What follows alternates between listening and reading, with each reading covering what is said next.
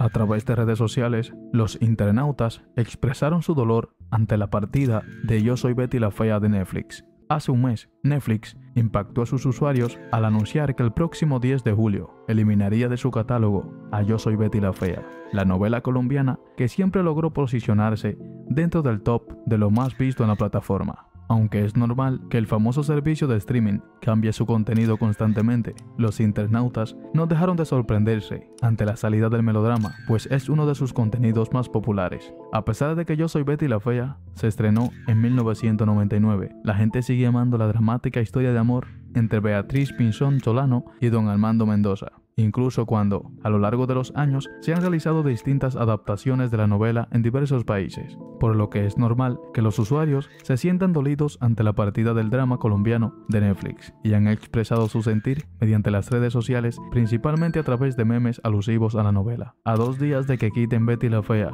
¿Ya para qué vivir? Netflix quita Betty la Fea. Definitivamente, no estoy mentalmente preparada. Calla, no me mandes mensaje. Tengo que acabar de ver Betty la Fea antes de que la quiten de Netflix. Son algunos comentarios que se leen en diversas redes sociales sobre la situación. Sin embargo, los usuarios tienen la esperanza de que Netflix se retracte de su decisión, pues muchos intuyen que la plataforma podría perder suscriptores al quitar la famosa producción colombiana.